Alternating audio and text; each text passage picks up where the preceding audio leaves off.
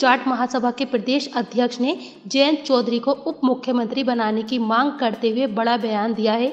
जाट महासभा के प्रदेश अध्यक्ष ने अभी तक न्यूज़ इंडिया से बात करते हुए मांग उठाई है कि जाट बिरादरी का कल्याण तभी हो सकता है जब गठबंधन या भाजपा जयंत चौधरी को उप मुख्यमंत्री का चेहरा मानते हुए अपनी बात कहे, क्योंकि भाजपा ने हमेशा जाटों के हित की बात की है। तो इसलिए इस विधानसभा चुनाव में भी जाट बिरादरी भाजपा के पक्ष में ही वोट करने जा रही है। मैं अनिल कुमार सिंह।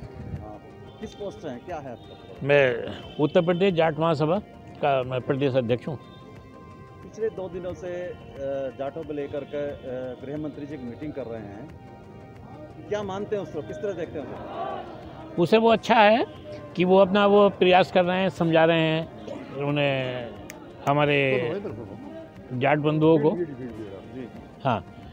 और अच्छी बात है, और जो वो ये कह रहे हैं कि भाई, जैन जी जो है, उन्होंने गलत जगह चुनी है मतलब गलत रास्ता चुना है। तो कोई बात नहीं, हमारा तो ये कहना है कि भाई, जो अपने उम्मीदवार हैं, जाट, ज़्यादातर 21 उम्मीदवार उतारे हैं उन्होंने बीजेपी ने। मैं कि ये लोग निकलने चाहिए जो उनका गठबंधन है, जैन जी का, इसके बाद जो उनके जाट विधायक या जो जो उनका दल जीत के आता है तो हम तो ये कहेंगे जो पश्चिम के अंदर हमेशा हमारी बिरादरी का समर्थन चाहिए तो उन्हें उत्तर प्रदेश का मुख्यमंत्री उप मुख्यमंत्री उन्हें घोषित करें और उन्हें अपने साथ में लाएँ। उन्हें सम्मानजनक जब उन्हें जगह मिलेगी तो कोई दिक्कत नहीं है। और जो हमारा आगे के लिए वो है केंद्र में आरक्षण वो वो भी होना चाहिए। वो पहले भी वायदा करा था। वो पता नहीं किस वजह से हो पाया, लेकिन हमारी कोई मांग नहीं है अब। इलेक्शन के बाद में देख लें। जो अगर कायदे में न्यायिक बात हो हमारी।